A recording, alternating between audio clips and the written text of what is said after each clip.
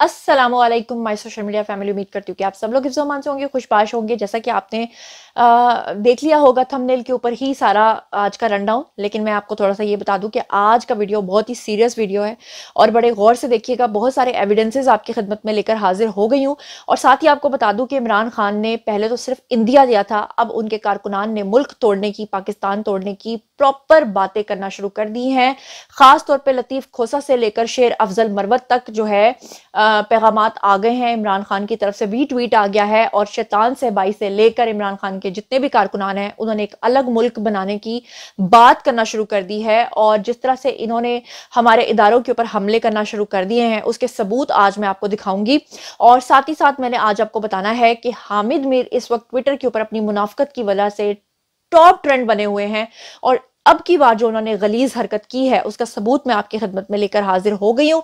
और इसके अलावा और बहुत सारी ऐसी खबरें हैं जो कि वीडियो के अंदर आप देखेंगे तो मेरे साथ बने रहिएगा। चलिए जनाब, शुरू करते हैं पहली खबर से। अच्छा जनाब, इस वक्त सबसे पहली जो खबर मैं आपके सामने रखने जा रही हूँ, वो जनाब ये है कि अगर आप ट्विटर के ऊपर जाएँ तो ट्विटर के ऊपर इस वक्त टॉप ट्रेंड में आ रहे हैं जी हामिद मीर।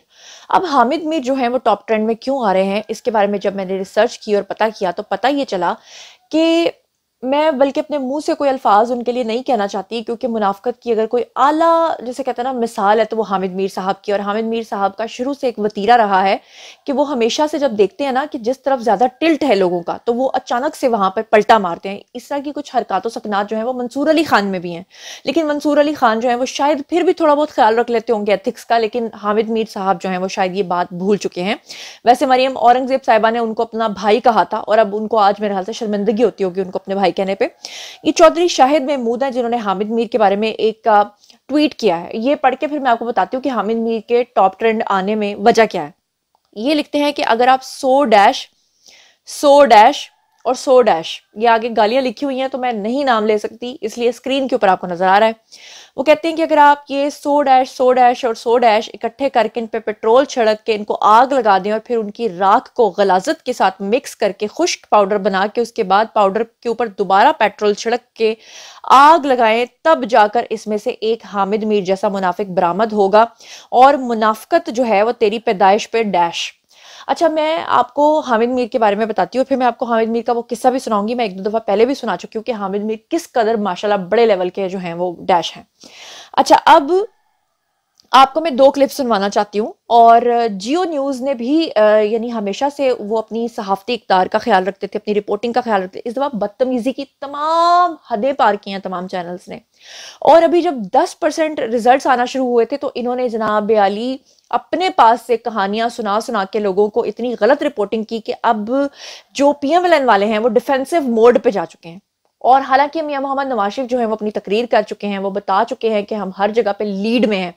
और उसके बावजूद जो देखें कि जो जीत रहा है, उसको अपनी जीत के लिए जो है, वो क्या कुछ कहना पड़ रहा है। अब यहाँ पे जनाब अली, मैं आपको जरा दो क्लिप्स जो है, वो सुनवाना चाहती हूँ। एक क्लिप है कि जहाँ पर इसहाक डार को लाइन पे लिया जियो वालों ने, और इस हाक डार जब आए तो हमेशा से उनकी एक आदत है कि वह दरूद शरीफ पढ़ते हैं, और दरूद शरीफ पढ़ने के बाद वो अपनी बात का आगाज़ करते हैं। जैसे उन्होंने दरूद पढ़ना शुरू किया, या जैसे ही उन्होंने कहा नहमदहू तो ये जो शख्स है हामिद मीर, जिनका इतने सालों का सहाफत में बरए नाम तजर्बा है जिनको पता है, मैंने जियो के साथ पाँच साल काम किया है, मुझे पता है कि माइक्स इतने सेंसिटिव होते थे कि जब हम सांस भी ले रहे होते थे ना तो बाज़ दफ़ा हमारे प्रोड्यूसर्स कह रहे होते थे, सांस थोड़ी धीमी लें कि वो इतनी ज़्यादा बीच पर डिस्ट्रॉशन आ रही होती है। ये शख्स जान बूझ के खुद को टॉप ट्रेंड में लाने के लिए ये हरकत करता है कि बोलता है कि, देखना, अब ये दूसरी पढ़ के झूठ बोलेगा।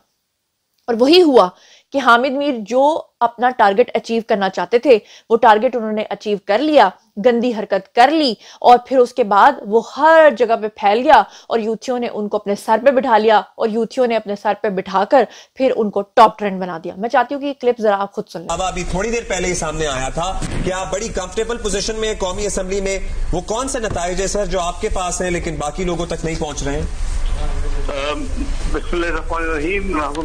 रसूल करीम मेरी अर्ज़ है कि कुछ चैनल बैठ के छह परसेंट बैठ के बैठ के। जी तो जनाब आपने सुना। उसके अलावा मैं उनका एक और क्लिप आपको सुनवाना चाहती हूँ जहाँ पर बकायदा तौर पे पीएमएलएन का मज़ाक उड़ा रहे हैं हामिद मीर। जरा ये भी देखिए। कल नवाज़ शरीफ साहब ने विक्ट्री स्पीच क्यों कैंसिल की होगी? इसलिए कि कल उनका ख्याल था मैं हार गया हूँ। नहीं नहीं।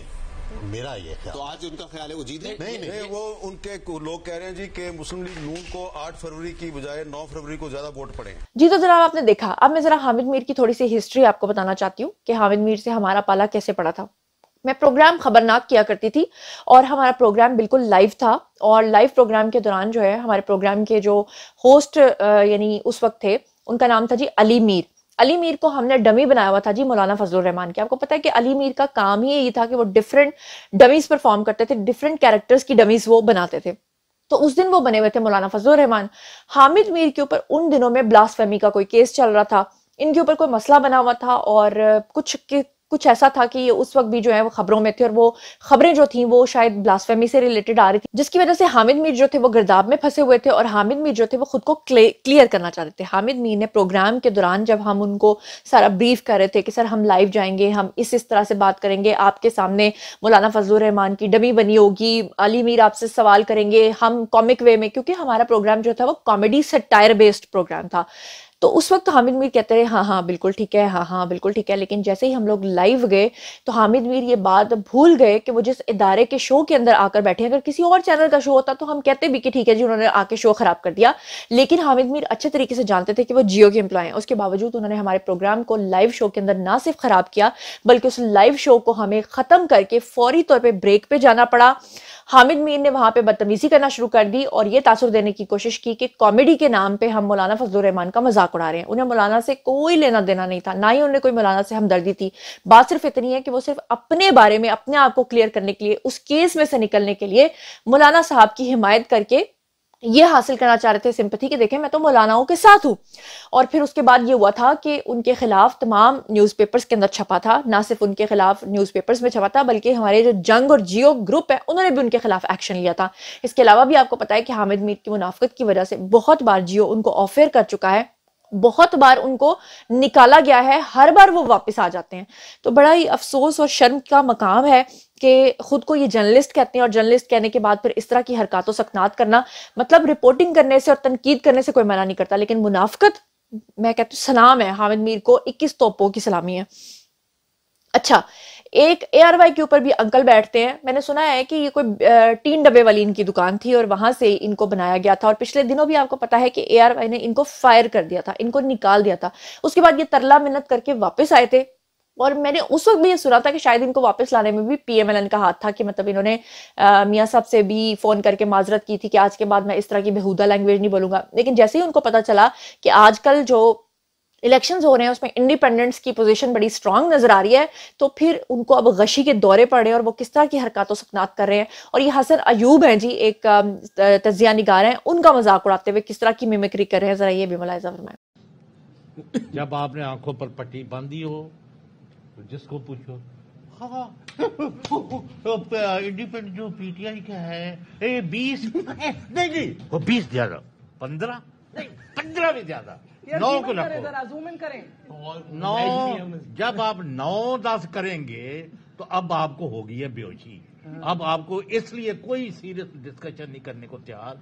जो आपने दो दो दिन में आपने मुल्क के साथ अशर कर दिया है no no buddy take you serious जी तो आपने देखा अगर इस तरह के भांड जो हैं वो टेलीविज़न स्क्रीन के ऊपर बैठेंगे और फिर वो बताएँगे कि उनका इतने इतने साल का तजर्बा है तो अंदाज़ा कीजिए कि ये जो पूरी जनरेशन इन लोगों को सुन के परवान चढ़ी है इनका क्या हाल होगा।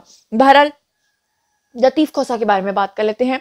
लतीफ़ खोसा का तकरीबन मुख्तलिफ़ वो इंटरव्यूज़ दे रहे हैं, क्योंकि वो जीत गए हैं। ख्वाजा साद रफ़ीक से उन्होंने बड़ी लीड ली है। ख्वाजा साद रफ़ीक भी इस वक्त टॉप ट्रेंड पे हैं ट्विटर के ऊपर, क्योंकि उनकी बड़ी तारीफ़ इस वजह से हो रही है, क्योंकि ख्वाजा साद रफ़ीक ने जैसे ही देखा कि लतीफ़ खोसा को काफ़ी बड़ी लीड मिल गई है। तो उन्होंने मुबारकबाद भी दी और उन्होंने कहा कि मैं अपनी हार भी तस्लीम करता हूँ, जिसके बाद उनको काफ़ी ज़्यादा सराहा जा रहा है।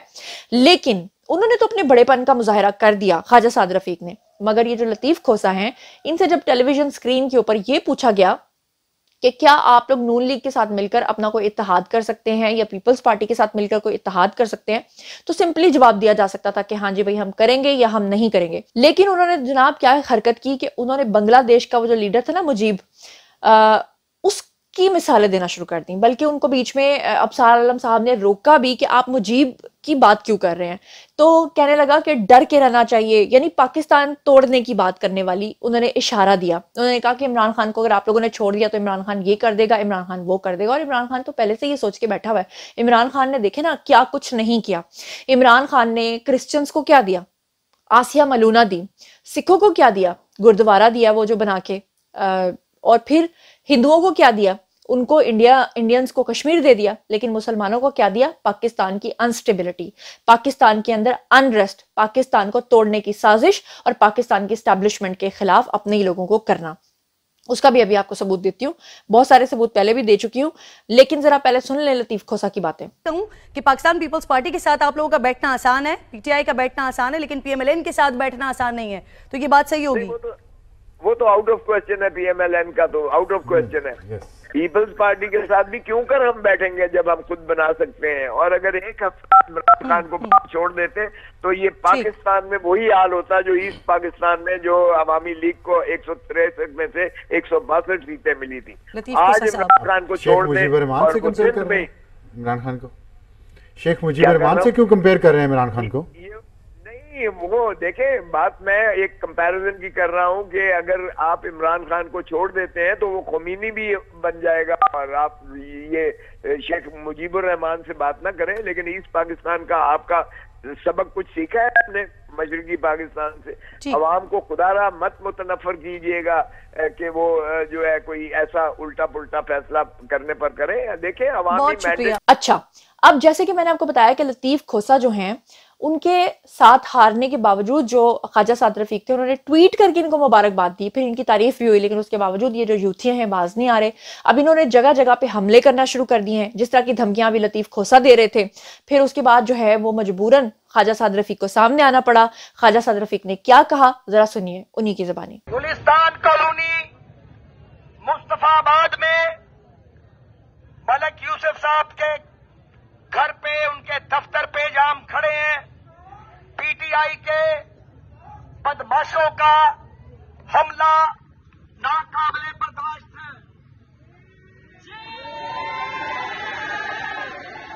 ये ये हमला इस तरह की दादागिरी और इस तरह की बदमाशी, इसकी कोई इजाज़त नहीं दी जा सकती।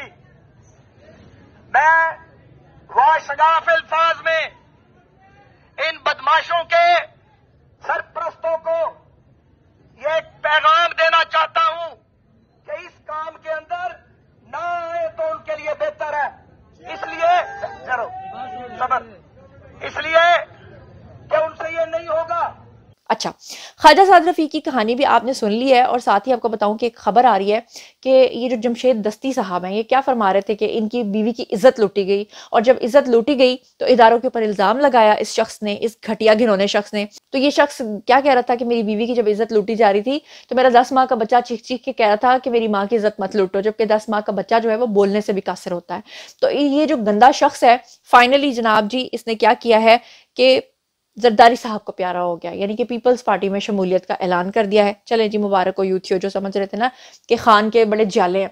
फैसल वाउडा की अगर बात मानते हैं तो फैसल वाउडा ने तो पहले ही कह दिया है कि जितने भी जीते हैं लोग इंडिपेंडेंट में, उसमें तीस लोग ऐसे हैं जो अब भी आज़ाद हैं। आज़ाद से मुराद जो सही मानों में हकीकी आज़ाद उम्मीदवार है इंडिपेंडेंट उम्मीदवार है, जिनका पीटीआई से कोई लेना देना नहीं।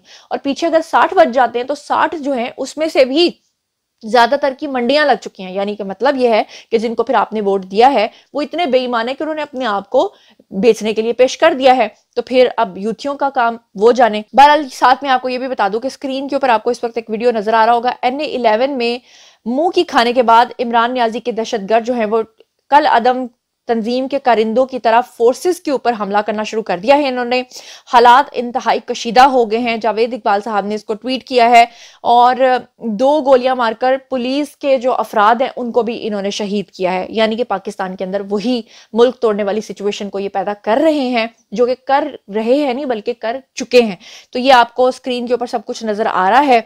अच्छा इसके अलावा इनका प्रोपेगेंडा जो है वो इस हद तक बढ़ चुका है कि ये साबिर शाकिर ने एक वीडियो जो है वो लगाया है अपने ट्विटर के ऊपर।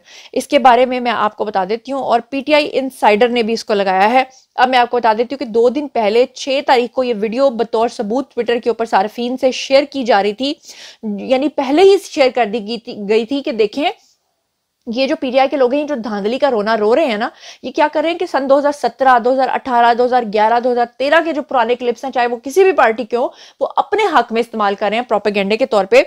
और इन्होंने जनाब क्या किया कि साबिर शाकिर ने वही हरकत की और 8 फरवरी के इंतबात से इस पुराने और किसी और वीडियो को जोड़कर इन्होंने प्रोपेगेंडा किया। ये वीडियो भी देख लीजिए जो साबिर शाकिर ने पोस्ट किया। बोले ऐसे लगानी है दिल से जैसे अपने कैंडिडेट पे लगा रहे हैं। मुँह छुपा लो सारे। पानी का बंदोबस्त करो जी पानी भी पिला देंगे साथ जल्दी करो। अब मैं आपको शेर अफजल मरवत का भी एक क्लिप दिखाना चाहती हूँ। एक तरफ़ लतीफ खोसा मुल्क तोड़ने की धमकी दे रहे हैं। दूसरी तरफ़ ये जो शेर अफजल मरवत है ये क्या बकवासियात कर रहे हैं? मैं चाहती हूँ कि इनकी भी आप कहानी सुन लें। हमारी गैरत इसमें इन्वॉल्व है हमारी पश्तो इसमें इन्वॉल्व है। अगर कोई सरकारी अफसर मैं बबांगिदेल कहता हूँ, ये ज़रूरत करेगा कि हमारा नतीजा रोकेगा या तब्दील करेगा। हम कसम उठाते हैं कि दड़न तख्ता करेंगे उसका। जी तो शेर अफजल मरवत की कहानी भी आपने सुन ली है। अब मैं आपके सामने जो सबसे अहम ट्वीट है, वो जरा रखने जा रही हूँ। ये मिशाल यूसुफ जई हैं।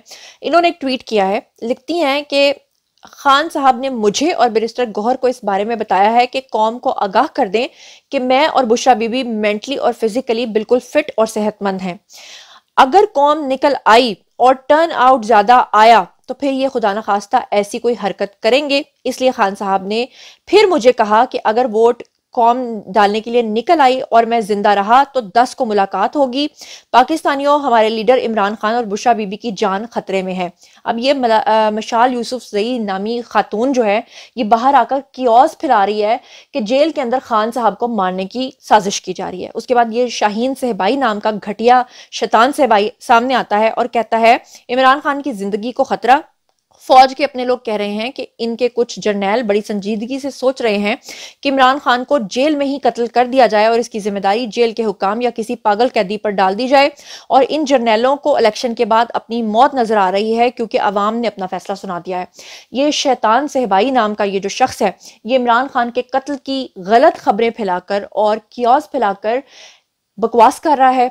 कल भी इसने एक ट्वीट किया जिसमें इसने कहा कि इमरान खान के जो फॉलोअर्स हैं वो पाँच करोड़ हैं और फिर इसने इशारा देने की कोशिश की कि वो पाँच करोड़ जो हैं वो अपना अलग से एक मुल्क बना सकते हैं। और अब आपने ये खातून की कहानी भी सुन ली है। इससे पहले भी आपको पता है कि बुशा बीबी जब अभी गिरफ़्तार नहीं हुई थी तो बुशा बीबी ने भी कहा था कि इमरान खान को जेल के अंदर स्लो पॉइजनिंग की जा रही है। तो फिर खान ने ये ट्वीट कैसे कर दिया कि मैं बिल्कुल फिजिकली फिट हूँ? तो इस तरह की हरकतें करके मुल्क को तोड़ने की साजिश की जा रही है। अब ये स्टैब्लिशमेंट और हमारे इदारों को सोचना है। मियाँ साहब ने अपनी तकरीर में सही कहा था कि हर चीज़ की ज़िम्मेदारी नून लीग तो नहीं ले सकती अब अपने साथ। ये तो स्टैब्लिशमेंट को सोचना चाहिए था। बहरहाल, ये आज का वीडियो है। बारिया जी आप लोगों की, आइए कॉमेंट सेक्शन में बताइए इन तमाम चीज़ों के बारे में आप क्या सोचते समझते हैं। जो कुछ भी आप सोचते समझते हैं शेयर कीजिए पर्सनली जवाब दूँगी। मजीद खबरें व्लॉग्स इंटरव्यूज़ और सियासी तस्वीर जानने के लिए मेरे साथ कनेक्टेड रहना। हरगिज मत भूलिएगा चैनल को सब्सक्राइब कर लीजिएगा, अपना बहुत ख्याल रखिएगा। अल्लाह ने के बाद